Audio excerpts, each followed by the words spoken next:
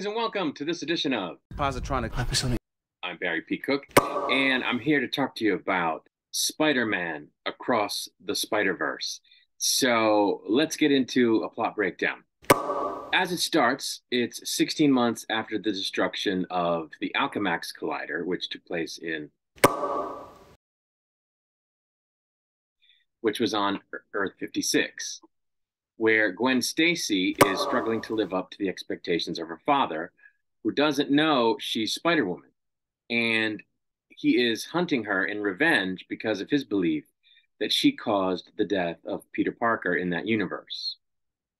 One night after hearing about a possible intruder in the Guggenheim Museum, she heads over to confront the threat, only to run into a Renaissance themed vulture that comes from an alternate universe and it was pretty crazy because the universe he comes from was kind of like paper based if that makes any sense. You kind of have to see it to understand it but he was like a paper mache or a, a, a, a being or a, paper based being. It's very strange. Anyway shortly afterward miguel o'hara and jessica drew arrive through portals and subdue vulture.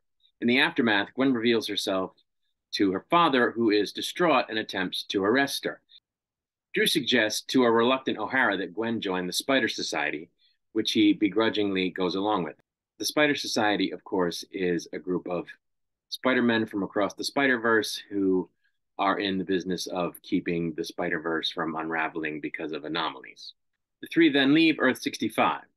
Back on Earth 1610 in Brooklyn, Miles Morales is adapting to being Spider Man as well as struggling to live up to his parents' expectations while mourning the departure of Gwen, on the day of an evaluation at school with his parents, he visits a convenience store where he encounters Spot, a scientist who got infused with portals all over his body in the aftermath of the explosion of the collider at Alchemax. After a brief fight, Miles subdues Spot, but he eventually breaks out and confronts him again and brings him to Alchemax, blaming him for his dilemma before accidentally transporting himself into a void where he begins using his portals to travel to other universes with the Alchemax collider. Later, Gwen goes to see Miles while secretly watching Spot, who created his own collider and is becoming even more dangerous. Drew contacts Gwen and instructs her to leave Miles behind to confront Spot, but unbeknownst to them, Miles follows them into the portal. In Mumbattan, on Earth 50101, Mumbattan being Manhattan only Mumbai style, which is really interesting, they encounter Pavitr Prabhakar and Hobie Brown, who are different Spider-Men, before confronting Spot in the Alchemax Collider on that Earth, whereupon he successfully absorbs the device's power before escaping. Mumbattan begins falling apart from the disruption of a canon event after Miles saves the police captain there, who turns out to be Prabhakar's girlfriend's father. Members of the Spider Society arrive to assess the damage of the dimensional anomaly, while Miles, Gwen, Prabhakar, and Brown are sent to the headquarters on Earth 928, where hundreds of Spider Man variants reside. They meet up with O'Hara, who tells Miles that he is risking the destruction of the multiverse, as Miles was not supposed to be in Mumbattan.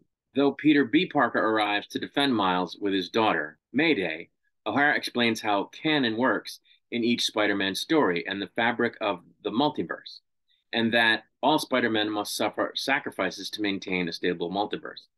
Miles realizes that his father, newly appointed as captain, will be dying at the hands of Spot, and that such is a canon event, and flees to save him, causing Brown to quit the society, and O'Hara to order all the spider people to apprehend Miles. After a long chase, O'Hara strikes down Miles, telling him that he never was supposed to become Spider Man, with the spider that bit him actually being from an alternate universe, making Miles the first canon anomaly ever. Miles breaks free, heading back to his homeworld to save his father. Seeing Gwen as a liability because she's sympathetic to Miles, O'Hara kicks her out and sends her back to her universe. When she realizes her father has resigned as police captain, Gwen believes that canon events can be rewritten because he was also a captain and was supposed to die, which she was just going to let happen out of fealty to, you know, the bigger picture. But she realizes when he tells her that he's resigned that canon doesn't have to occur and that it won't necessarily unravel anything. She then goes to find Miles, and she leaves her universe using a bootleg multiverse traveling watch that Brown had given to her father, addressed to her. Arriving back in his apartment, Miles reveals to his mother that he's Spider Man, whom she appears not to recognize. Encountering his uncle, Aaron Davis, very much alive, Miles realizes that he's on Earth 42, the dimension home of the spider that originally bit him, where his father has already died. And he also realizes that this world has no Spider Man. Aaron interrogates Miles as to who he is, while Miles thinks that Aaron is the Prowler, but he soon realizes that he's not, even though on Miles's own Earth he was, before he meets the Miles of Earth 42, who has in fact become the Prowler. O'Hara, Drew, and Ben Reilly arrive to find Miles on Earth 1610 just as the Spot arrives to kill Miles's father. Gwen, after speaking with Rio and Jefferson, Miles's parents on Earth 1610, assembles a team with Peter B. Parker, Mayday, Prabhakar, Brown, Margo Kess, Spider-Man Noir, Penny Parker, and Spider-Ham to find Miles, who it would seem is about to be taken out by his other self, the Prowler, who doesn't want to let him go back to his Earth to save his father because he's crazy. and that's where it ends on a cliffhanger. And then during the, the credits or after the credits, there's a title card that says Miles Morales will return in Spider-Man Beyond the Spider-Verse, which I did not know was coming. I don't know how I missed that, but I did not know this was a trilogy or whatever, or that this was a two-parter. I, I was not aware of that. I thought this was going to be an encapsulated story, and it isn't. So we got another one to look forward to. But having broken down the plot, and believe me, that's the bare bones plot. There's a lot of nuance in there. And it is the nuance that really makes this movie shine. It's very good. This movie, I think it's the best thing that Marvel has put out in a long time. And, you know, not just by a little bit. I think it's way better than the last couple of live action Spider Man movies. And I'm counting the most recent one, which in my own review, I said was not anything spectacular, despite everybody thinking that. Probably the strongest element of the story that has just so much heart is the relationship between Miles and Gwen. They are obviously very much into each other, I would say in love with each other. But Gwen knows that in every other universe, when Gwen Stacy and Spider Man fall in love, Gwen Stacy always dies. And she also knows that as the first anomaly, he's like, you know, kind of like a pariah, as it were, who can't really be involved in anything because he is a potential, you know, multiverse breaker. So she has to kind of hide her feelings for him. And, you know, he's uh, uh, like a lot of teenage boys afraid to reveal his feelings for her. And it, you know, just hits you right in the feels whenever they're together because you know that they care for each other, but they can't say. So it's unfulfilled mutual affection. And it's just so hard to watch, but at the same time, so great because you know that they just care about each other so much. And it is the scenes that they are in together that that give this film the biggest dose of heart that it has. But there's a lot of other stuff in it that is also very powerful emotionally. Miles' relationship with his folks is one of those things that's that's a whole other element of the movie that just is so relatable and and you know like i said powerful and just hits you right in the feels.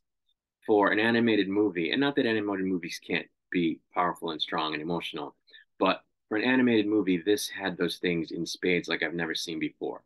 Um, I, I just it just it's full of heart. And just a great story. And like i said i think the best thing that marvel has put out in a long time in terms of the story. And that is helped in great part by the performances of the voice cast. They're all excellent in this. So I enjoyed it very much. You know, on top of all the heart, there's a great deal of action, which is absolutely frenetic and neck breaking in pace. it's wild how fast and furious the action scenes, the action sequences are. It's dizzying, really and uh, quite a sight to behold for that reason. So, you know, it's got everything heart, action, great acting. It's it's just a, a fantastic movie. Now, I do have to say that I didn't love all of the animation styles that are showcased in the movie. the animation styles change from universe to universe. So you don't always have consistency of how, you know, the look of the film. And I thought some of it was hard to look at, especially when they had people from one universe in another universe. Sometimes the universe that the character comes from is really weird looking and and so that carries over to the character. But then when the character is in a different universe that looks different from their own, they really stand out and it's kind of jarring. And so I had kind of a hard time with that. Some of the art, you know, and, and examples of that are Punk Spider Man, who I forget what they actually call him in the movie, and the Vulture. They kind of don't, their visual style doesn't jive with the universe they're in. So it just, it looks very strange and in addition to that, some of the animation in certain scenes and in certain universes seems like unfinished art. You know how art look artwork can look unfinished if it's uh, just a line drawing, for example, that's going to go on to become a more fully realized image, and you can see where you know that it's going to be something else when it's done, but at the moment it's not done. It's just the line art, and so there would be sequences in the movie where part of the scene is fully realized, but part of it is not, and it just looks like the line drawing stage. And so it was just kind of weird. Um, I, I didn't. It, it, looked kind of like visual noise some some part of the time this this movie because uh, one of the universes is such that the people look kind of like you know normal animation of characters but the background is rendered in such a way that it looks like impressionist an impressionist painting and i didn't think those two things went well together and didn't like seeing an impressionist painting in motion. I'm i'm a fan of impressionist art but it didn't work for me the way they sort of did it in this movie. But the writing and how you know how the characters move the the this the web swinging stuff and the this, you know, when they're using their spider abilities to walk around and whatever, um, which isn't always on a plane, an upright plane, just uh, is fantastic. It, it's it's like I said, dizzying, and just so well done in in terms of the movement animation, and uh, you know all the other elements of the film that I liked, just really, really made up for the fact that I wasn't entirely keen on how the art looked at all times.